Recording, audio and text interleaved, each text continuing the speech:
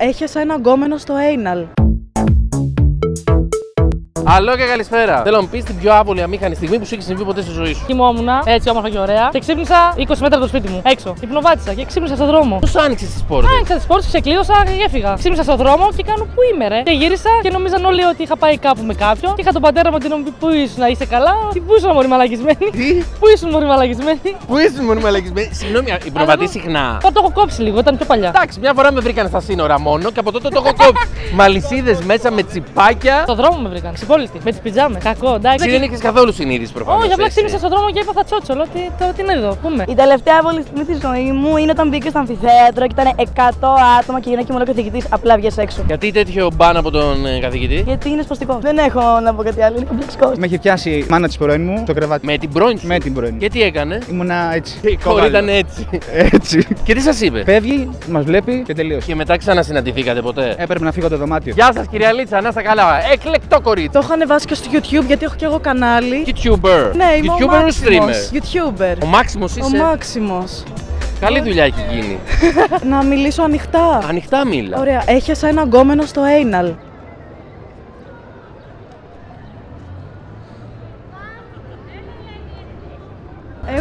Εγώ ρώτησα να μιλήσω ανοιχτά. Όταν εννοείς έχεσαι, εννοείς έχεσαι, έχεσαι εσύ. Έχω δυσκολιότητα χρόνια, θα το δείτε και στο YouTube αν το δείτε αυτό. ε, Τι γιατί να πούμε στο YouTube να δούμε αν είσαι δυσκύλια. Και επίσης δεν μπορείς να σε καταλάβω εσά του δυσκύλιου. Έχεις δοκιμάσει να πιεις σοκολατούχο γάλα, να πα μέσα από πονοτυρόπιτα και να έχω καπνίσεις. δοκιμάσει, Εννοείται και τα τρία μαζί. Δεν υπάρχει κανένα φάρμακο, κανένας τρόπος να πας τουαλέτα άμα είσαι δυσκύλιος. Ωραία, και να επιστρέψουμε στην ιστορία. Τι έγινε; Ναι, δεν είχα πάει τουαλέτα δύο μέρες και ήθελε πάρα πολύ να γίνει αυτό. Και είπα εντάξει. Εν τω μεταξύ είχαμε μόνο ένα προφυλακτικό το οποίο είχε πάρει αέρα. Και λέω άντε μπες χωρίς. Και μπαίνει και χωρίς και τη βγάζει με άλλο χρώμα. Κορυφαίο δεν είναι αυτό, επειδή ξέρεις όταν κάνεις προκτικό σου ανοίγει λίγο κολότρυπα. Όπως πήγα να ανέβω στη μηχανή μου, φέει και μια κλανιά. Καλή όρεξη.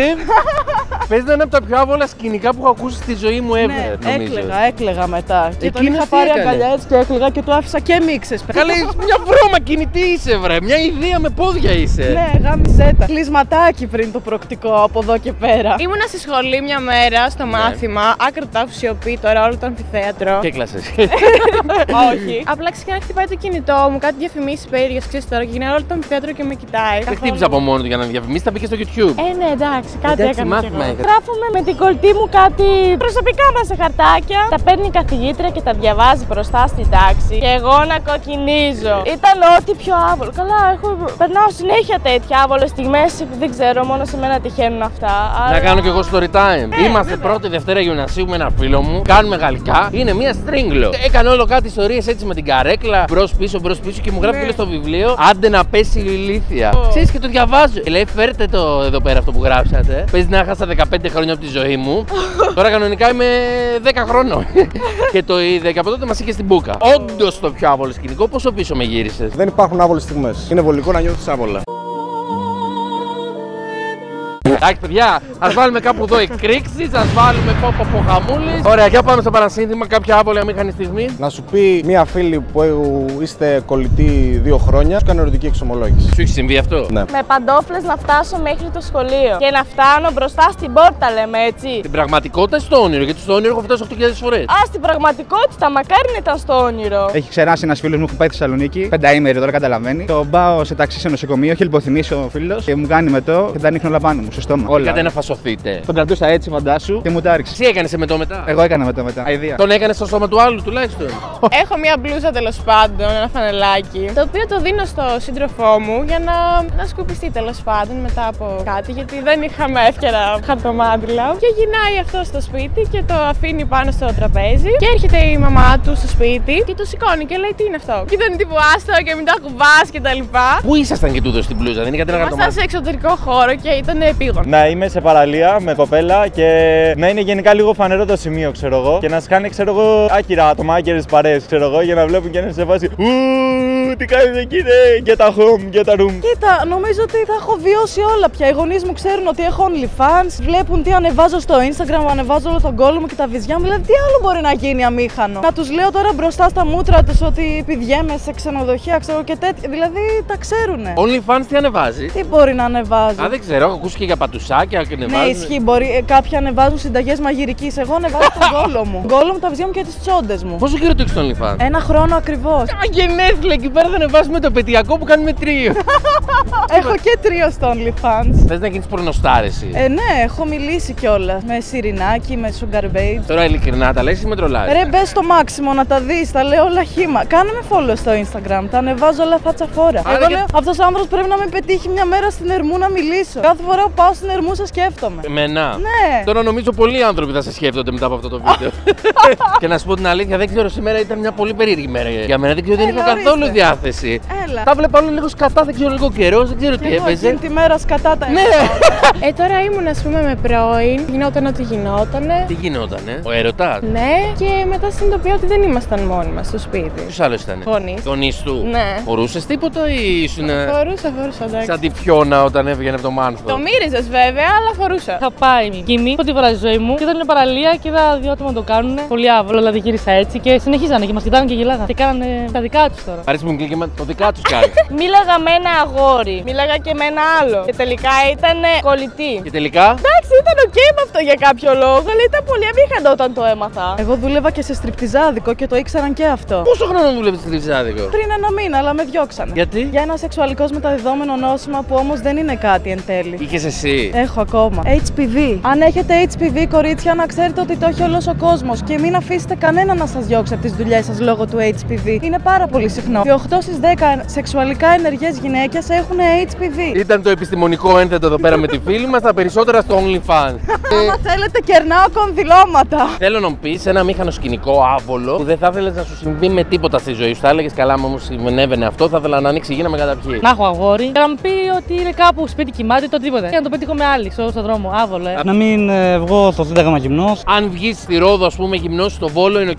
Όχι πουθενά. Τα κλασικά να σε πιάσει η μάνα σου, πάλι με, σε, με σχέση, στο σεξ. Α, να σε πιάσει, ναι. Το τρώ με τη μάνα της αλληνής, με τη δικιά σου είναι λίγο πιο δύσκολο. Να βγω έξω γυμνία. Κοίτα, δεν θα ήθελα να με πιάνουν να λέω ψέματα. Εκεί πέρα πιστεύω θα κοκκίνιζα ολόκληρος. Δηλαδή, τι έκανες εκεί, μα μου πες άλλα. Όχι να σταματήσεις να λες ψέματα, να σε πιάσουν να λες ψέματα είναι το θέμα. Φυσικά.